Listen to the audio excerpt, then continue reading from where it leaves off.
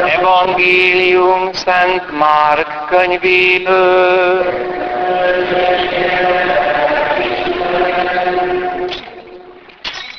Abban az időben Jézus maga mellé vette Péter, Jakabot és Jánost, egyedül velük fölment egy magas hegyre. Ott elváltozott előttük.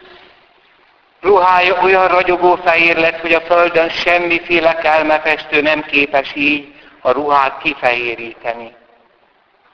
Egyszer meg csak megjelent Illés és Mózes, és beszélgettek Jézussal.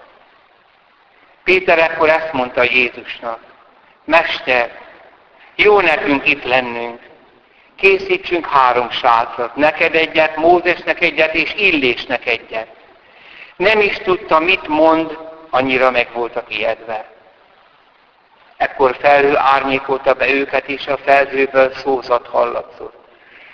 Ez az én szeretett fiam, őt hallgassátok. Mire körülnéztek, már senkit sem láttak, csak Jézust egymagát.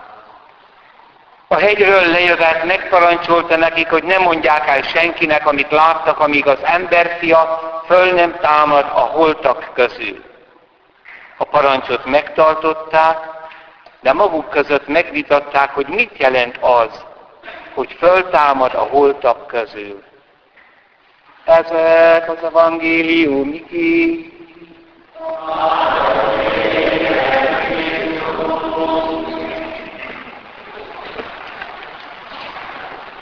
Tisztült van, szeretett testvéreim!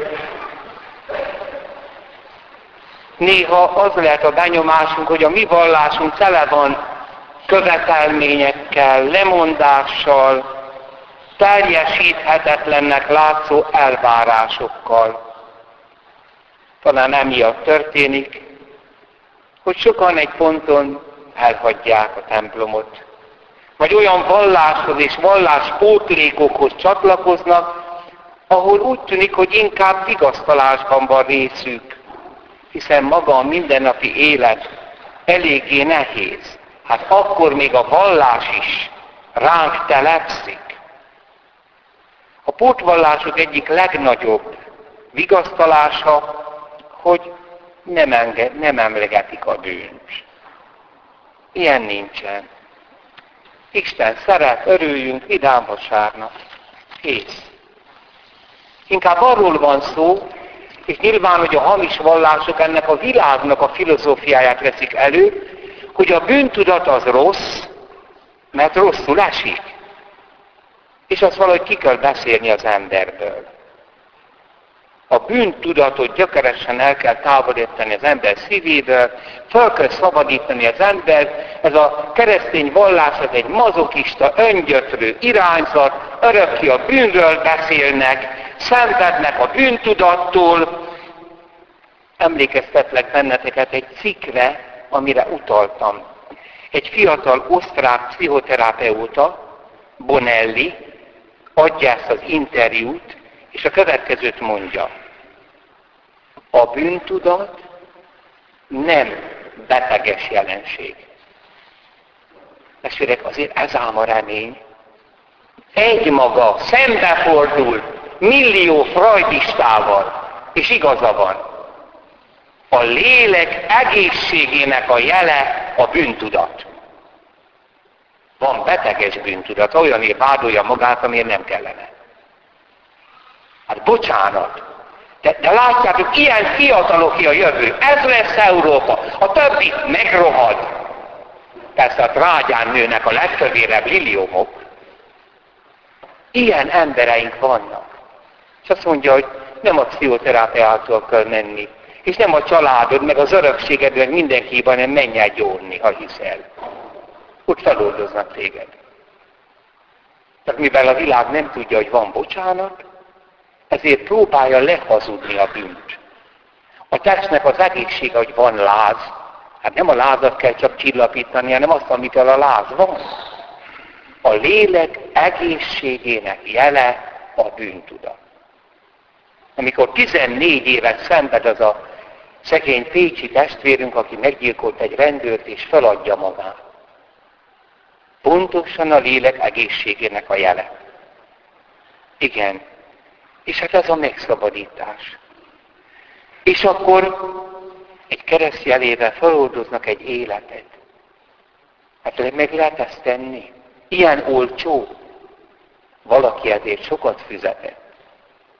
Aki magára vette a világ bűneit. Ő mondta azt, menjetek, akiket feloldoztak a földön, feloldozást nyernek a mennyben is. Testvérek, hát ez az evangélium, ez az öröm. A kisgyermek még megérti a keresztény hit lényegét, hogy az öröm, az felszabadulás. Egy karácsonyt átélve, meg azt, hogy a a szeret téged. Valahol a kamaszkor táján kezdődik egy lelki kibicsaklás, amikor sokan úgy érzik, hogy az egész keresztény vallás teher. Higgyétek el, ennek oka 90%-ban az, hogy nem vezetjük bele a kamaszt, vagy nem engedi, hogy belevezessük, Jézus Krisztus fönséges ismeretébe. A gyermekkor után nem az a kisiskolás hittal, hanem kicsoda ez, hogy Isten egy szűz méhében emberi életet kezd. Te érted.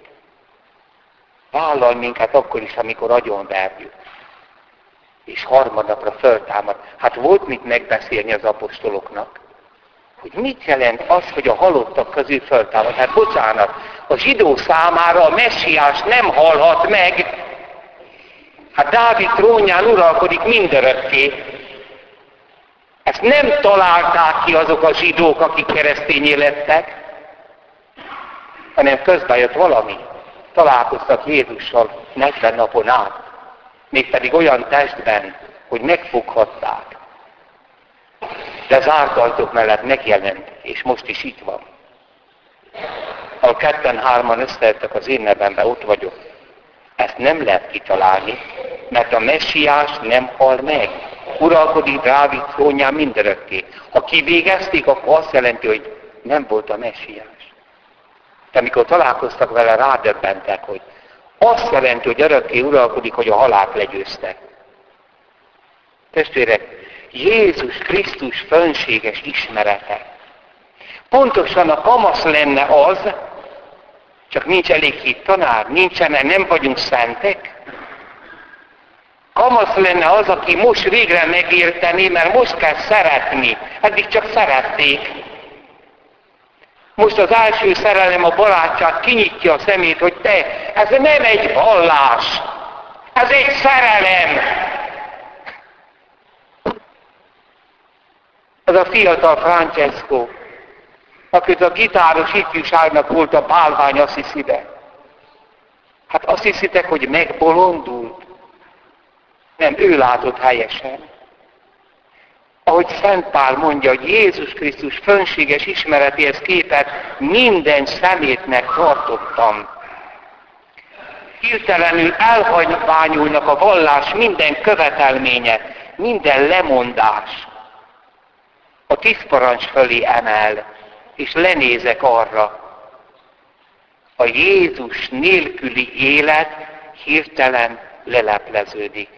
Az az elviselhetetlen az az elviselhetetlen.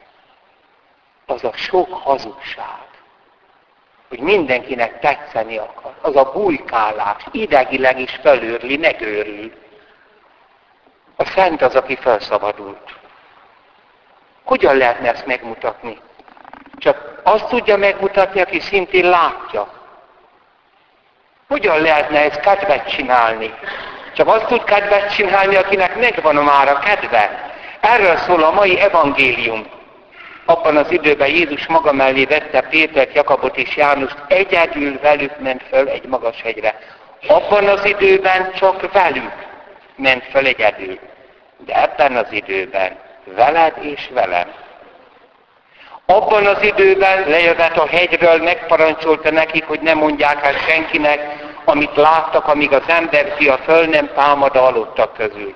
Ebben az időben viszont, amiben élünk, csak erről kell beszélni. Csak arról szól a hit, hogy Jézus meghalt a mi bűneinkért és megigazulásunkért föltámadt. Abban az időben, amikor a tábor egyén voltak, még nem értették azt, amit föltámadása után megértettek, hogy az emberi test dicsőségre támad fel. Hogy a világvégi föltámadás előre csúszott az időben. Jézusban megtörtént a jövő.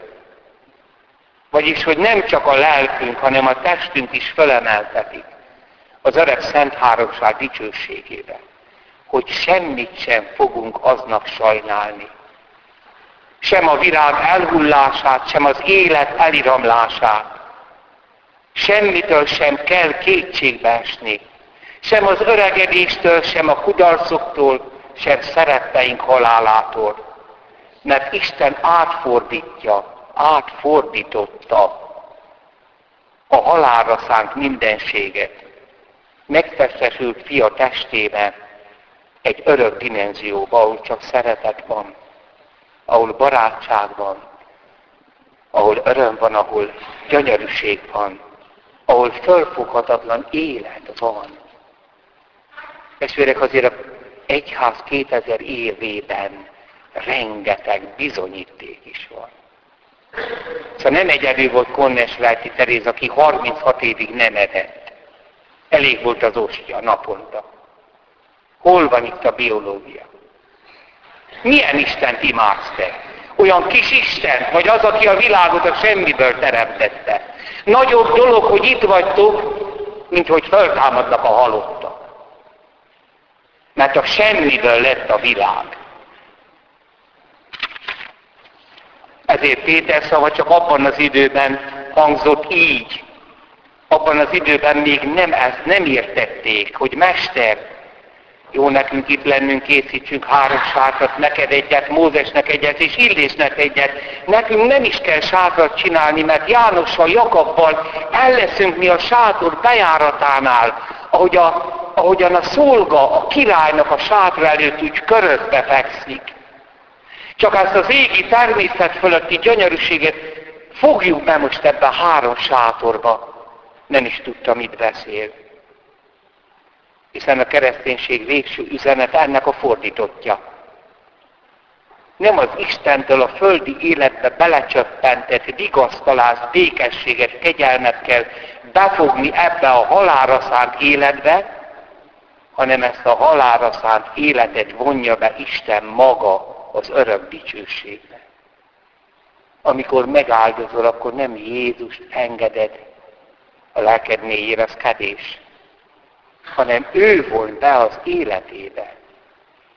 Nem Isten építjük bele többékedésbe ebbe a világba, hanem Isten építette bele az ember miatt, az emberért, akit képére alkotott egykor, saját örök dicsőségébe ezt a világot így nézni a világra, mint aminek csodálatos jövője van, és ez a jövő megtörtént Jézus Krisztusban.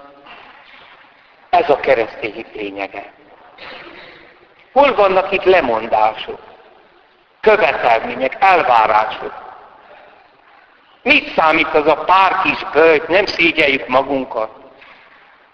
Milyen kevés a házasság előtti tisztaságét való harc, a szüzességért, a tiszta házasságért. Mi az? Semmi ehhez képest. Hol van itt lemondás? Nem vagyunk mi egy kicsit nagyképűek? Mi mondunk le, és mit kapunk? A nagyböjt a Szent 40 nap eredetileg a hit tanulók fölkészítése a husvét északi, éjszakai keresztelésre és ott voltak a templomba, velük együtt a már megkereszteltek, hogy újra megtanulják a hitnek a lényegét. És ezért szereted ősidők óta a nagyböjt második vasárnapján ez az evangélium, az örömhír, hogy megmondják a keresztelendőknek, te most küzdesz, te most szakítasz bálványokkal, önzéssel, te most megtagadod magadat, de vigyázz, ez semmi ahhoz képest, amit Isten neked készít. Ez az ember felszabadítása. Ez a vigasztalás. És mivel ezt a vigasztalást, mely a halál hullámját is elveszi, hiszen Szent Ferenc énekelve halt meg, ezt a vigasztalást a világ nem ismeri. Ezért tekinti a keresztény vallást öngyötrő, mazokista, beteg irányzatnak, mert nem ismeri Jézust. És sok keresztény ismeri? Ezért hirdetik meg időnként nagy hanggal a kereszténységről való felszabadítást. De megmarad abszolút reménytelenségbe és bűneibe a lelkük. Ezért nem szerepelhet a keresztény szó az európai alkotmányba. Komplexus. Ez pszichológiai nyomor, mert a tények ellen van. A görög filozófia meg a római műveltség ott lehet. Kereszténység nem lehet ott. Ezt nevezi a, filozófia, a pszichológia súlyos betegségnek, egy komplexusnak, amelyet ha megérint valaki, akkor berobban. A perverz alakok gyülekezetében megjelenik egy európai férfi, akinek öt gyereke van, és egy asszonytól és a feleségétől, akkor berobban szegény nyomorultak be ez a komplexus. És ezért fedi le a mikrofont. Érted? De Isten kérjük, hogy könyörüljen meg rajtuk. Csak követelményeket látnak, de nem ismerik Istent, aki emberé lett Jézus Krisztusban. De azért ebben nem vagyunk mi hibásak. Nem sokszor mi papok is nem csak az elvárásokat, a törvényt hirdetjük. Az, hogy mit nem szabad. Kit hirdetett Szent Péter, Szent Jakab és Szent János? Kit hirdetett Szent Pál, a Szent Atyák, Assisi Szent Ferenc, Szent Pió Atya, Szent Teréz Anya? Krisztus. Isten végtelen, megtestesült irgalmasságát, vigasztalásét és kegyelmét. Hallgassuk csak meg ezután újra Szent Pálnak az imént felolvasott ö, írását a római levélből. Csupa kérdés. Ha Isten velünk, ki ellenünk? Ki nem kérnéte saját fiát, hanem mindenkért áldozatul adta. Hogy ne ajándékozna nekünk vele együtt mindent. Mindent. Ki emel vádat Isten választottjai ellen? Isten, aki a megigazulást adta? Ki ítél el? Krisztus Jézus, aki meghalt, sőt fel is támad, és az Isten jobbján közben jár értünk. Ábrahám áldozata mit áldozott fel? saját ragaszkodását a fiához. Isten áldozta fel önmagát. Nem vagyunk-e kifordított keresztények? Világtalan, vigasz nélküli karikatúrája az evangéliumnak. Amikor azt mondjuk, hogy áldozatot hoztam, mert eljöttem misére. Ez áldozat. Testvéreim, Jézus Krisztus fönséges ismeretéhez képest mindent szemétnek tekintettem. De ha valaki nem ismeri Jézus Krisztust, akkor hogy tekintse a szemetet is szemétnek? Akkor materialista lesz, és tíz körömmel markol a pillanati gyönyörödbe, mert nem marad neki semmi. Amen.